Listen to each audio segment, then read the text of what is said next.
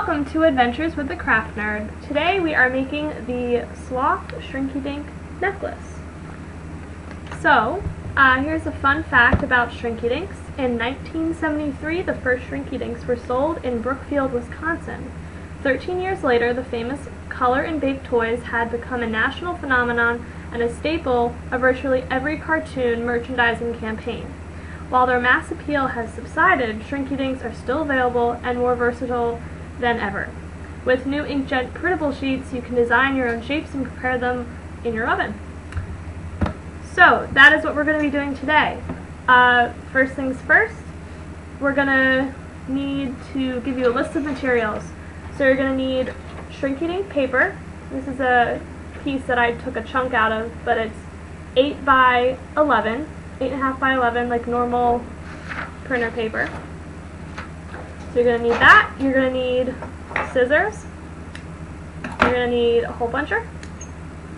You're going to need a printout of the image that you're tracing, or you can do it by, by freehand. But since the Shrinky Dink paper is transparent, it's smart to, you know, print it out, trace it, so that you don't have the hassle of having to redo it and then you have to like buy new paper and it's like seven to eight dollars per um, pack so it gets expensive and there's only a few papers in each pack. Um, so then what else? You need a spatula. You need tin foil. And you need string. So first things first is to preheat the oven to 325 degrees Fahrenheit which I have done my oven is to the left of me. And then what you're going to want to do is take your uh, image that you printed out, you're going to put it down in front of you, and you're going to trace the image onto the Shrinky Dink paper, scratchy side up. Hold on one second.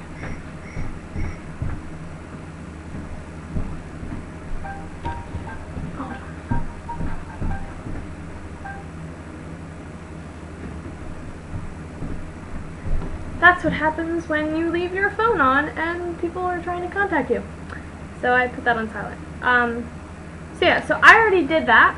I traced my image onto my Shrinky Dink paper and I did an image of a sloth because I think sloths are the cutest thing ever. Um, so that's done.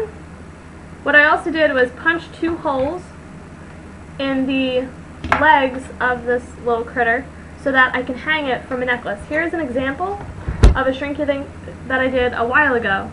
Um, you can sell these as jewelry. They sell pretty well. I've sold um, a couple at little jewelry gigs that I've gotten. Um, okay, so we have our Shrinky Dink prepped.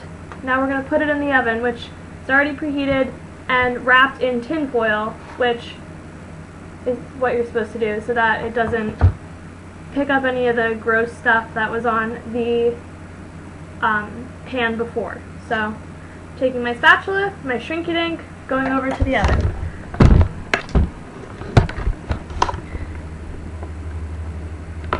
Alright, so, you can see what I'm doing. I'm taking my Shrinky Dink and I'm putting it uh, scratchy side up putting it down in the pan, and it's going to start to shrink. It's going to sh start shrinking immediately, and it's going to want to curl into itself.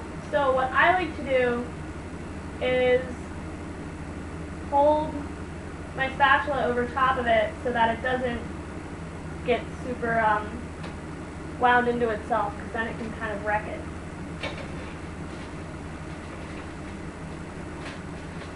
This is the trickiest part of the process. And if you're a kid and you're doing this at home, make sure you have your parents helping you or supervising. So it's going to want to stay in there for about a minute to three minutes. And then you'll be able to take it out and be careful because it will be hot. And you're going to want to press it flat as soon as possible because it can curl up into itself and then you have to reheat it so that it's able to be flexible. So, give it a few seconds, let's check on it again. Oh, it's completely shrunken in size. It's about, definitely about half the size than we started with. So starting to get there. I'm pressing it down flatter so that it doesn't get warped.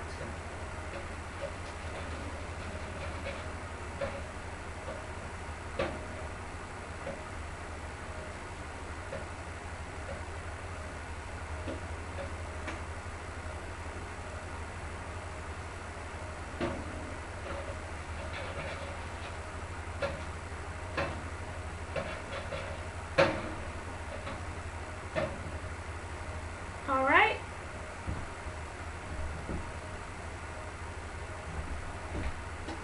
He's about done. I think I'm going to take him out. And I'm going to put him on top of the stove and keep pressing him flat. And it should solidify and cool down. And then I'm going to put some string in it and call it a day. Alright. So, super quick, super easy, and you can make, you know, pretty good jewelry that you can, you can sell and make some money off of. So this is how much it shrunk down from. So we're just going to compare really quick. Let's compare my Shrinky Dink sloth to the sloth that I traced from the printable. That's quite a significant change. Alright, so now that we have him, it's all done. Got the two holes in it, and good thing we put the holes in before. And now we just thread our string through.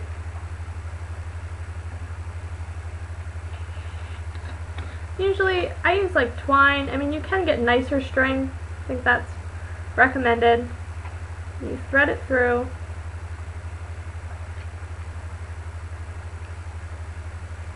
This string is really crappy. But, the point is that it hangs, you can put it around your neck like a necklace, and there we go. We have a sloth shrinky dink necklace. Stay tuned next time for some more crafts with the Craft Nerd.